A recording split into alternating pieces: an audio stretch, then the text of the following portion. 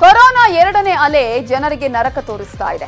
ಕೇವಲ ಬದುಕಿದವರಿಗಷ್ಟೇ ಅಲ್ಲ ಮೃತದೇಹಕ್ಕೂ ನೆಮ್ಮದಿ ಸಿಗದ ಹಾಗೆ ಮಾಡ್ತಾ ಇದೆ. ಹೆಣ ಸುಡೋದಕ್ಕೂ ಗಂಟೆಗಟ್ಲೆ ಕಾಯಬೇಕಾದಂತಹ ಕೆಟ್ಟ ಸ್ಥಿತಿಗೆ ಭಾರತ ತಲುಪಿದೆ. ಕರ್ನಾಟಕದಲ್ಲೂ ಎಂತಹ ಪರಿಸ್ಥಿತಿ ಇದೆ ಅನ್ನೋದನ್ನ ತೋರಿಸ್ತೀವಿ ನೋಡಿ.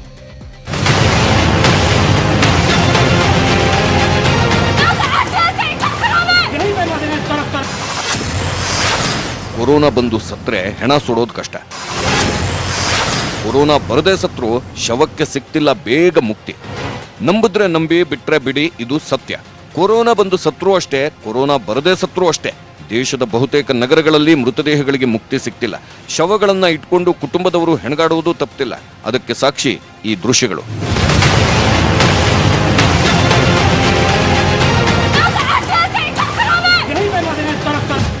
ಹೆಣಗಾಟ ದೃಶ್ಯ ಒಂದು, ಸುಮನಹಳ್ಳಿ ಚಿತಾಗಾರ, ಬೆಂಗಳೂರು. ನೋಡಿ. ಒಂದರ ಹಿಂದೆ ಒಂದು, ಒಂದರ ಹಿಂದೆ ಹೇಗೆ ಏಳೆಂಟು ಆಂಬ್ಯುಲೆನ್ಸ್ಗಳು ಸ್ಮಶಾನದಲ್ಲಿ ಸಾಲುಗಟ್ಟಿ ನಿಂತಿವೆ ಅಂತ. ಬೆಂಗಳೂರಿನ ರಾಜ್ಕುಮಾರ್ ಸಮಾಧಿ ರಸ್ತೆಯಲ್ಲಿರೋ ಸುಮನಹಳ್ಳಿ ಚಿತಾಗಾರದ ದೃಶ್ಯ ಇದು.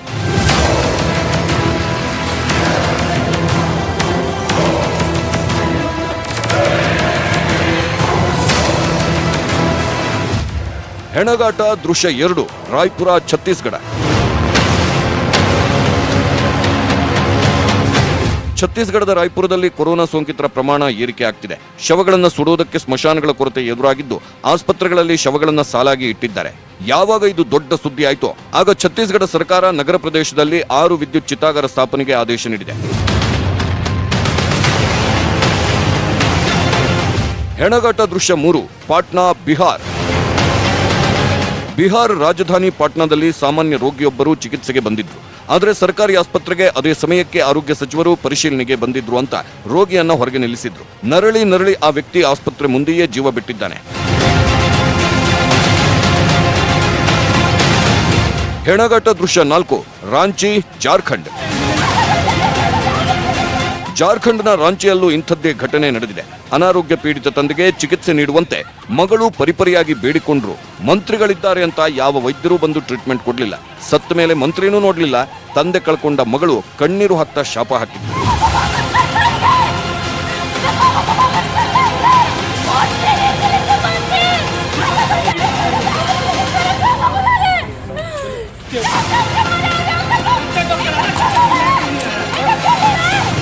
ಹೆಣಗಾಟ ದೃಶ್ಯ ಇದು ಸತಾರ್ ಜಿಲ್ಲೆ ಮಹಾರಾಷ್ಟ್ರ. ಮಹಾರಾಷ್ಟ್ರದಲ್ಲಿ ಕೊರೋನಾ ಘನಘೋರ ಸ್ಥಿತಿ ತಲುಪಿದೆ ಅನ್ನೋದು ಜಗಜ್ಜಾಹೀರು. ಆದರೆ ಅದೇ ಮಹಾರಾಷ್ಟ್ರದಲ್ಲಿ ಆಸ್ಪತ್ರೆಗಳಿಲ್ಲ, ಬೆಡ್ಗಳಿಲ್ಲ, ಸರಿಯಾದ ಚಿಕಿತ್ಸೆ ಸಿಗ್ತಿಲ್ಲ ಅನ್ನೋದಕ್ಕೆ ಈ ದೃಶ್ಯನೇ ಸಾಕ್ಷಿ. ಆಟೋದಲ್ಲೇ ಕೊರೋನಾ ಸೋಂಕಿತಿಗೆ ಚಿಕಿತ್ಸೆ ಕೊಡ್ತಿದ್ದಾರೆ. ಆಟೋದಲ್ಲೇ ರೋಗಿಗೆ ಆಕ್ಸಿಜನ್ ಸಿಲಿಂಡರ್ ಹಾಕಿ ಚಿಕಿತ್ಸೆ ಕೊಟ್ಟಿದ್ದಾರೆ.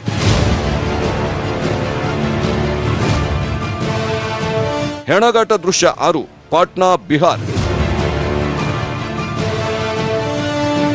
ಬಿಹಾರದ ನಳಂದ ಮೆಡಿಕಲ್ ಕಾಲೇಜು ಹಾಗೂ ಆಸ್ಪತ್ರೆಯಲ್ಲಿ ಪರಿಸ್ಥಿತಿ ವಿಷಮ ಸ್ಥಿತಿಗೆ ಹೋಗಿದೆ. ಪಾಟ್ನಾದಲ್ಲಿ ಸೋಂಕಿತರ ಸಂಖ್ಯೆ ಮಿತಿಮೀರಿ ಹೋಗ್ತಿದ್ದು. ಆಸ್ಪತ್ರೆ ಮುಂದೆ ಚಿಕಿತ್ಸೆ ಪಡೆಯೋಕೆ ಸರತಿ ಸಾಲಲ್ಲಿ ಜನ ಕಾದು ಕೂತಿದ್ದಾರೆ. ವೈದ್ಯರನ್ನ ಕೇಳಿದ್ರೆ ಬೆಡ್ಗಳಿಲ್ಲ, ಚಿಕಿತ್ಸೆ ನೀಡುವುದು ಕಷ್ಟವಾಗ್ತಿದೆ ಅಂತ ಬೇಸರ ವ್ಯಕ್ತಪಡಿಸಿದ್ದಾರೆ ಅಂತ ತಿಳಿದು ಬಂದಿದೆ.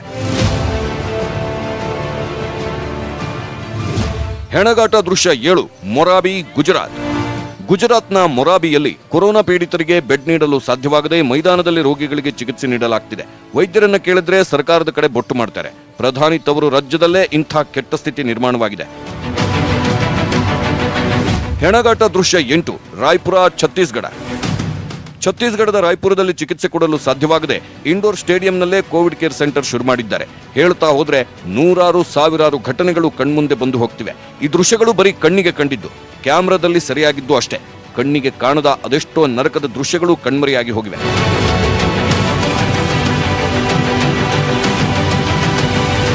ಹೆಣಗಾಟ ದೃಶ್ಯ ಒಂಬತ್ತು. ಹರಿದ್ವಾರದಲ್ಲಿ ಸೋಂಕಿನ ಕೇಕೆ ಹರಿದ್ವಾರದ ಕುಂಭಮೇಳದಲ್ಲಿ ಭಾಗಿಯಾಗಿದ್ದ ಸಾವಿರದ ಎಂಬತ್ತಾರು ಭಕ್ತಾದಿಗಳಿಗೆ ಕೊರೋನಾ ಸೋಂಕು ಒಕ್ಕರಿಸಿದೆ ಏಪ್ರಿಲ್ ಹತ್ತರಿಂದ ಈವರೆಗೆ ಸಾವಿರದ ಎಂಬತ್ತಾರು ಮಂದಿಗೆ ಪಾಸಿಟಿವ್ ಬಂದಿದೆ ಎಂದು ಅಧಿಕಾರಿಗಳು ತಿಳಿಸಿದ್ದಾರೆ. ನಾಲ್ಕೇ ದಿನದಲ್ಲಿ ಸಾವಿರ ಮಂದಿಗೆ ಸೋಂಕು ಒಕ್ಕರಿಸಿದೆ ನಿನ್ನೆ ಒಂದೇ ದಿನ ನೂರು ಹೊಸ ಕೇಸ್ ದಾಖಲಾಗಿದೆ. ಹರಿದ್ವಾರದ ಕುಂಭಮೇಳದಲ್ಲಿ ಈ ಸಲ ಮೂವತ್ತು ಲಕ್ಷಕ್ಕೂ ಅಧಿಕ ಮಂದಿ ಭಾಗಿಯಾಗಿದ್ದಾರೆ. ಶಾಹಿ ಸ್ನಾನದ ಹೆಸರಿನಲ್ಲಿ ಗಂಗಾ ನದಿಯ ಹರ್ಕಿಪೌರಿ ಘಾಟ್ನಲ್ಲಿ ಪುಣ್ಯ ಸ್ನಾನ ಮಾಡುತ್ತಿದ್ದಾರೆ. ಮಾಸ್ಕ್ ಇಲ್ಲ, ಅಂತರ ಇಲ್ಲದೆ ಇಷ್ಟು ಕೇಸ್ಗಳು ದಾಖಲಾಗಿದೆ.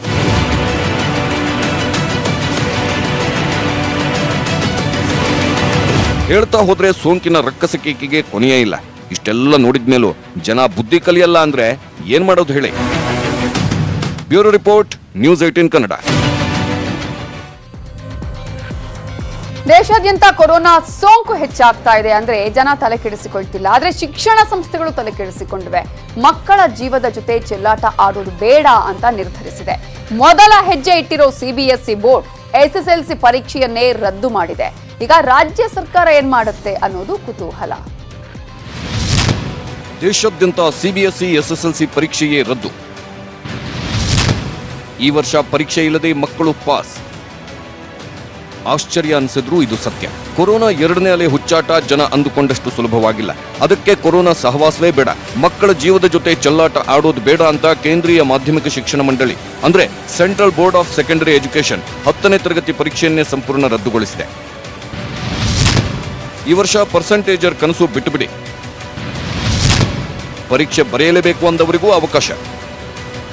ಹೌದು ಸಿಬಿಎಸ್ಇ ಪರೀಕ್ಷೆಯಲ್ಲಿ ಈ ಪ್ರಿಪರೇಟರಿ ಮತ್ತು ಹಿಂದಿನ ಟೆಸ್ಟ್ಗಳಲ್ಲಿ ಗಳಿಸಿದ ಅಂಕಗಳ ಮೇಲೆ ವಿದ್ಯಾರ್ಥಿಗಳನ್ನು ಪಾಸ್ ಮಾಡಲು ಸಿಬಿಎಸ್ಇ ಮಂಡಳಿ ನಿರ್ಧರಿಸಿದೆ. ಆದರೆ ಎಕ್ಸಾಮ್ನಲ್ಲಿ ಪ್ರಿಪರೇಟರಿಗಿಂತ ಹೆಚ್ಚು ಅಂಕ ತೆಗೆಯುತ್ತಿದ್ವಿ. ಪರ್ಸೆಂಟೇಜ್ ಜಾಸ್ತಿ ಬರ್ತಿತ್ತು ಅಂತ ಸಾಕಷ್ಟು ವಿದ್ಯಾರ್ಥಿಗಳ ಮನಸ್ಸಲ್ಲಿ ಈಗಲೂ ಕಾಡುತ್ತಿದೆ. ಅಂಥ ವಿದ್ಯಾರ್ಥಿಗಳು ಬೇಸರ ಪಟ್ಕೊಳ್ಬೇಕಿಲ್ಲ. ಯಾಕಂದ್ರೆ ಮತ್ತೆ ಎಸ್ಎಸ್ಎಲ್ಸಿ ಪರೀಕ್ಷೆ ಬರೆಯೋದಕ್ಕೆ ಅವಕಾಶ ನೀಡಿದೆ ಸಿಬಿಎಸ್ಇ ಮಂಡಳಿ. ಈ ವರ್ಷ ಸಿಬಿಎಸ್ಇ ಹತ್ತನೇ ತರಗತಿ ಪರೀಕ್ಷೆ ನಡೆಯಲ್ಲ. ಎಸ್ಎಸ್ಎಲ್ಸಿ ಪರೀಕ್ಷೆ ಇಲ್ಲದೆ ಸಿಬಿಎಸ್ಇ ವಿದ್ಯಾರ್ಥಿಗಳು ಪಾಸ್ ಆಗಲಿದ್ದಾರೆ ಹಿಂದಿನ ಟೆಸ್ಟ್ ಪ್ರಿಪರೇಟರಿ ರಿಸಲ್ಟ್ ಆಧರಿಸಿ ಫಲಿತಾಂಶ ಪ್ರಕಟ ಆಗಲಿದೆ. ಸಿಬಿಎಸ್ಇ ಮಂಡಳಿ ನಿಗದಿಪಡಿಸಿದ ಮಾನದಂಡ ಆಧರಿಸಿ ಅಂಕ ನೀಡಲಾಗುತ್ತೆ.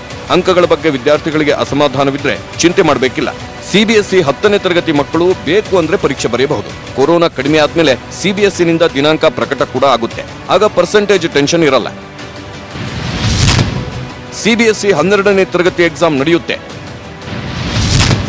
ಜೂನ್ ಒಂದರ ಬಳಿಕ ಸಿಬಿಎಸ್ಇ ಹನ್ನೆರಡನೇ ಕ್ಲಾಸ್ ದಿನಾಂಕ. ಈ ವರ್ಷ ಸಿಬಿಎಸ್ಇ ಎಸ್ಎಸ್ಎಲ್ಸಿ ಎಕ್ಸಾಮ್ ರದ್ದಾಗಿದೆ. ಹಾಗೆ ಹನ್ನೆರಡನೇ ತರಗತಿ ಪರೀಕ್ಷೆಗಳನ್ನು ಸಿಬಿಎಸ್ಇ ಬೋರ್ಡ್ ಮುಂದೂಡಿದೆ. ಜೂನ್ ಒಂದರ ನಂತರ ಪರಿಸ್ಥಿತಿ ನೋಡಿಕೊಂಡು ಹದಿನೈದು ದಿನಗಳ ಮೊದಲು ನೋಟಿಸ್ ನೀಡಿ ಡೇಟ್ ಫಿಕ್ಸ್ ಮಾಡ್ತಾರೆ.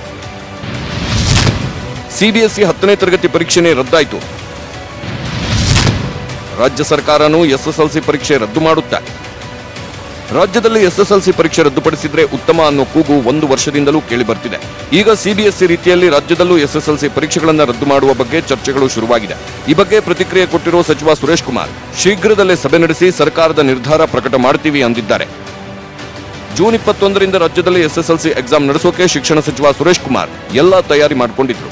ಈಗ ಸಿಬಿಎಸ್ಇ ಪರೀಕ್ಷೆ ರದ್ದಾಗಿದ್ದು ಯಾವ ನಿರ್ಧಾರ ತಗೊಳ್ತಾರೆ ಅನ್ನೋದು ಸದ್ಯದ ಕುತೂಹಲ. Bureau report, news eighteen Kannada.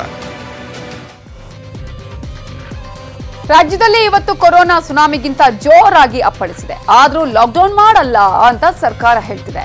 Corona control ಮಾಡೋಕ್ಕಾಗದ ಸರ್ಕಾರ ಇರೋದೇ ಬೇಡ, ರಾಷ್ಟ್ರಪತಿ ಆಡಳಿತ ತನ್ನಿ ಅಂತ ಹೇಳ್ತಾರೆ ಡಿಕೆಶಿ ರಾಜಕೀಯದ ಮಧ್ಯೆ ನ್ಯೂಸ್ ಏಟಿನ್ ಬಿತ್ತರಿಸಿದ ವರದಿಯನ್ನ ಸರ್ಕಾರಕ್ಕೆ ಮುಟ್ಟಿಸಿದ್ದಾರೆ ಎಚ್ಡಿಕೆ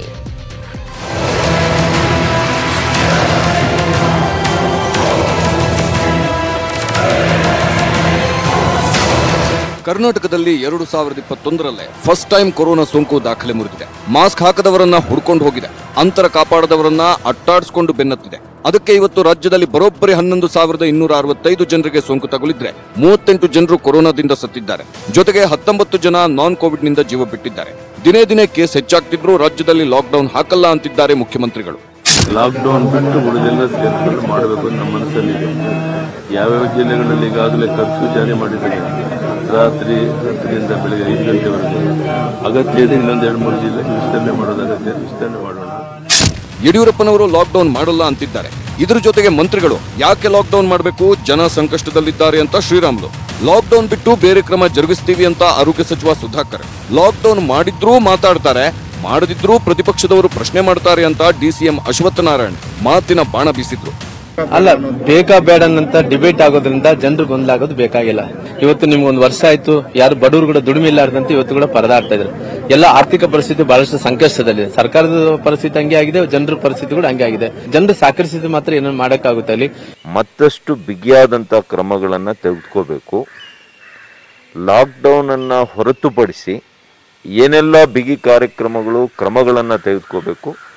ಅದೆಲ್ಲವನ್ನು ಕೂಡ ತೆಗೆದುಕೋಬೇಕು ಅಂತೇಳಿ ಮಾರ್ಮಿಕವಾಗಿ ನಿನ್ನೆ ಮಾನ್ಯ ಮುಖ್ಯಮಂತ್ರಿಗಳು ಹೇಳಿದ್ದಾರೆ. ಜೀವನೋಪಾಯ ಎಲ್ಲವೂ ಕೂಡ ನಿಜವಾಗಿಯೂ ಕೂಡ ಬಹಳ ಭೀಕರವಾಗಿ ಅವ್ರಿಗೆ ತೊಂದರೆ ಆಗ್ತದೆ. ಕೆಲವು ಸಲ ಲಾಕ್ಡೌನ್ ಮಾಡಿದಾಗ ಲಾಕ್ಡೌನ್ ಮಾಡಬೇಡಿ ಅಂತ ಹೇಳ್ತಾರೆ.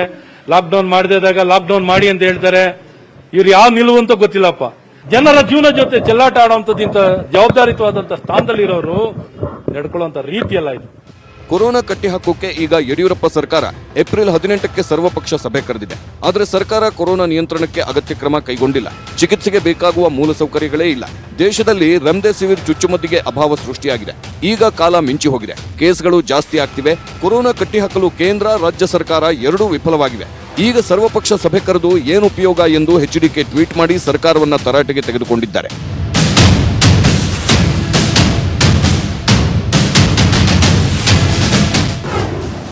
ಬೆಂಗಳೂರಲ್ಲಿ ಹಗಲಲ್ಲೂ ಕರ್ಫ್ಯೂ ಜಾರಿಗೆ ತಯಾರಿ. ಕೊರೋನಾ ಕಂಟ್ರೋಲ್ ಮಾಡುವುದಕ್ಕೆ ಸಾರ್ವಜನಿಕರ ಸಹಕಾರ ಬಹಳ ಮುಖ್ಯ ಅಂತ ಬಿಬಿಎಂಪಿ ಕಮಿಷನರ್ ಗೌರವ್ ಗುಪ್ತಾ ಹೇಳಿದ್ರು. ಜೊತೆಗೆ ಬಿಬಿಎಂಪಿ ಕಡೆಯಿಂದ ಸಾವಿರದ ಐನೂರು ಬೆಡ್ಗಳ ಹತ್ತು ಕೋವಿಡ್ ಕೇರ್ ಸೆಂಟರ್ಗಳು ಶುರುವಾಗ್ತಿದೆ. ಮಾರ್ಕೆಟ್ಗಳಲ್ಲಿ ಜನಸಂದಣಿ ಕಡಿಮೆ ಮಾಡಬೇಕಿದೆ. ಅಗತ್ಯ ಬಿದ್ದರೆ ಸೆಕ್ಷನ್ ಒನ್ ಫೋರ್ಟಿ ಫೋರ್ ಜಾರಿಗೊಳಿಸಲು ತಯಾರಿ ನಡೆಯುತ್ತಿದೆ ಪಾಲಿಕೆ ವತಿಯಿಂದ ನಾವು ನಿನ್ನೆ ಹತ್ತು ಕೋವಿಡ್ ಕೇರ್ ಸೆಂಟರ್ಸ್ ಅನ್ನು ಪ್ರಾರಂಭ ಮಾಡ್ತಕ್ಕಂಥ ದಿಕ್ಕಿನಲ್ಲಿ ಕ್ರಮವನ್ನು ಕೈಗೊಂಡಿದ್ದೀವಿ. ಅವಶ್ಯಕತೆಗೆ ತಕ್ಕಂತೆ ಸೆಕ್ಷನ್ ಒನ್ ಫಾರ್ಟಿ ಫೋರ್ ಹಾಕ್ತಕ್ಕಂಥದ್ದು ಮತ್ತು ಅಲ್ಲಿ ಇರ್ತಕ್ಕಂಥ ಒಂದು ಯಾವುದಾದ್ರೂ ಒಂದು ಜನ ಸಮುದಾಯ ಒಂದೇ ಕಡೆ ಸೇರ್ತಕ್ಕಂಥದ್ದನ್ನು ನಾವು ನಿಷೇಧನೆ ಮಾಡ್ತಕ್ಕಂಥ ದಿಕ್ಕಿನಲ್ಲಿ ಕೂಡ ಕ್ರಮ ಆಗಿದೆ ಕೊರೋನಾ ಕಮ್ಮಿ ಆಗ್ತಿಲ್ಲ ಸರ್ಕಾರ ಲಾಕ್ಡೌನ್ ಮಾಡಲ್ಲ ಜನನೂ ಎಚ್ಚೆತ್ತುಕೊಳ್ಳಲ್ಲ. ಒಟ್ನಲ್ಲಿ ಕರುನಾಡಿಗೆ ಕೊರೋನಾ ಕಾಟ ತಪ್ಪಿದ್ದಲ್ಲ. Bureau report news eighteen Kannada. ಅಗ್ರ ರಾಷ್ಟ್ರೀಯ ವಾರ್ತೆಯಲ್ಲಿ ಉಳಿದ ಪ್ರಮುಖ ಸುದ್ದಿ ನೋಡೋಣ ಬ್ರೇಕ್ ಆದ್ಮೇಲೆ. ಅಗ್ರ ರಾಷ್ಟ್ರೀಯ ವಾರ್ತೆಗೆ ಮತ್ತೆ ಸ್ವಾಗತ. ಸಾರಿಗೆ ಸಂಗ್ರಾಮ ಸದ್ಯಕ್ಕೆ ಮುಗಿಯುವ ಲಕ್ಷಣಗಳು ಕಾಣಿಸ್ತಾ ಇಲ್ಲ. ತಟ್ಟೆ ಲೋಟ ಆಯಿತು, ಭಿಕ್ಷೆ ಆಯಿತು. ನಾಳೆ ದೀಪ ಚಳುವಳಿಗೆ ಸಾರಿಗೆ ಸಿಬ್ಬಂದಿ ರೆಡಿಯಾಗಿದ್ದಾರೆ. ಹೀಗೆ ಹೋರಾಟ ತೀವ್ರ ಆಗ್ತಾ ಇದ್ರು ಕೂಡ ಸರ್ಕಾರ ಕ್ಯಾರೆ ಮಾಡ್ತಿಲ್ಲ. ಇದರಿಂದ ಸಾರಿಗೆ ಇಲಾಖೆಗೆ ಲಾಸ್ ಆಗಿರೋದು ಬರೋಬ್ಬರಿ ನೂರ ಐವತ್ತು ಕೋಟಿ ರೂಪಾಯಿ. ಸತತ ಎಂಟನೇ ದಿನವೂ ಸಾರಿಗೆ ಸಂಗ್ರಾಮ. ಮುಷ್ಕರದಿಂದ ಕೋಟಿ ಕೋಟಿ ಲಾಸ್.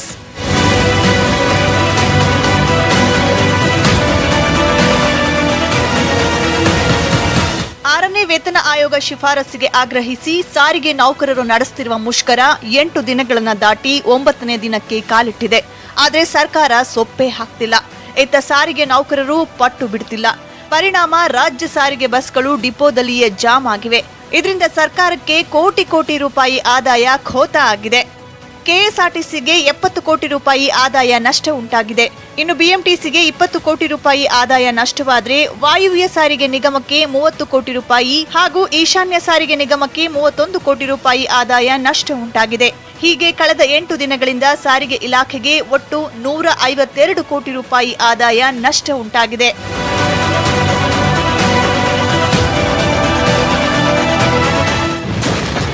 ನಟ ಯಶ್ಗೆ ಸಾರಿಗೆ ನೌಕರರಿಂದ ಪತ್ರ. ಹೋರಾಟ ಬೆಂಬಲಿಸ್ತಾರ ರಾಕಿ ಭಾಯ್. ನಟ ಯಶ್ ತಂದೆ ಬಿಎಂಟಿಸಿಯಲ್ಲಿ ಡ್ರೈವರ್ ಆಗಿದ್ದವರು. ಈ ಹಿನ್ನೆಲೆಯಲ್ಲಿ ಮುಷ್ಕರ ಮಾಡ್ತಿರೋ ಸಾರಿಗೆ ನೌಕರ ಒಕ್ಕೂಟದವರು ಯಶ್ಗೆ ಪತ್ರ ಬರೆದು ಹೋರಾಟ ಬೆಂಬಲಿಸುವಂತೆ ಮನವಿ ಮಾಡಿದ್ದಾರೆ. ನಿಮ್ಮ ತಂದೆ ಬಿಎಂಟಿಸಿಯಲ್ಲಿ ಕೆಲಸ ಮಾಡಿದ್ರು. ಅವರು ಕಷ್ಟವನ್ನ ನಿಮ್ಮ ಮುಂದೆ ಹೇಳ್ಕೊಂಡಿರಬಹುದು. ನೀವು ಬೆಂಬಲ ಕೊಡ್ತೀರಿ ಎಂದು ಭಾವಿಸಿದ್ದೇವೆ ಅಂತ ಪತ್ರದಲ್ಲಿ ತಿಳಿಸಿದ್ದಾರೆ. ತಟ್ಟೆ ಭಿಕ್ಷೆ ಆಯ್ತು. ನಾಳೆ ದೀಪ ಚಳವಳಿ. ನಾಡಿದ್ದು ಶಾಸಕರ ಮನೆ ಮುಂದೆ ಪ್ರತಿಭಟನೆ. ಹೌದು, ದಿನದಿಂದ ದಿನಕ್ಕೆ ಸಾರಿಗೆ ನೌಕರರು ಹಾಗೂ ಅವರ ಕುಟುಂಬಸ್ಥರು ವಿಭಿನ್ನವಾಗಿ ಪ್ರತಿಭಟನೆ ನಡೆಸುತ್ತಿದ್ದಾರೆ. ತಟ್ಟೆ ಲೋಟ ಬಡಿದು ಭಿಕ್ಷೆ ಬೇಡಿ ಪ್ರತಿಭಟನೆ ನಡೆಸಿದ್ದ ಸಾರಿಗೆ ನೌಕರರ ಕುಟುಂಬಸ್ಥರು ನಾಳೆ ಸಂಜೆ ಏಳು ಗಂಟೆಗೆ ದೀಪ ಹಿಡಿದು ಪ್ರತಿಭಟನೆ ನಡೆಸಲಿದ್ದಾರೆ.